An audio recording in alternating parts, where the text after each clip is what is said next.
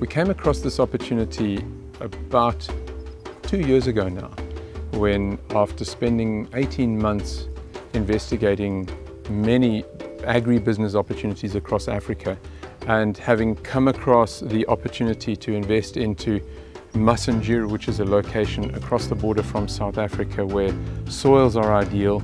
There's this massive expanse of water at the Massingir Dam, which is over two and a half billion cubes of water. And so that advantage with water, soils, climate, and the opportunity to produce a, a very scalable operation in Massingir is what made us invest in it.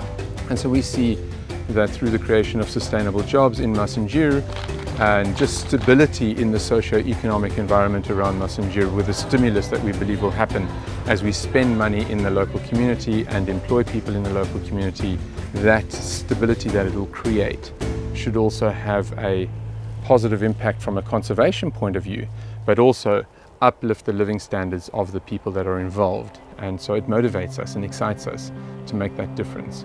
I was born in this community of Massingir. The red support in this community, it means a lot to me. It gives me a challenge. Massingir is a place that doesn't have a lot of investment. It's a good thing that it's uplifting people by offering them employment.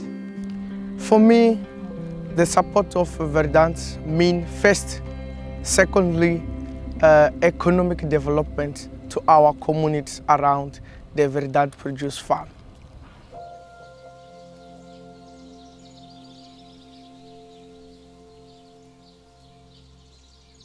A trouxe um impacto muito positivo para a comunidade, porque veio cá desenvolver o nosso distrito, veio dar mais sustentabilidade na comunidade e produzir.